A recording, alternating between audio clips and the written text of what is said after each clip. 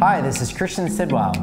And I'm Adam Furman. With the Journey Partners team at Berkshire Hathaway. We are super excited to introduce you to this completely renovated 1984 three bedroom, two bathroom home. There's some really great features and updates that have been recently done. Tell us about it, Adam. Absolutely. Waterproof vinyl uh, throughout the whole property. Brand new granite in the kitchen, and that continues on to both bathrooms.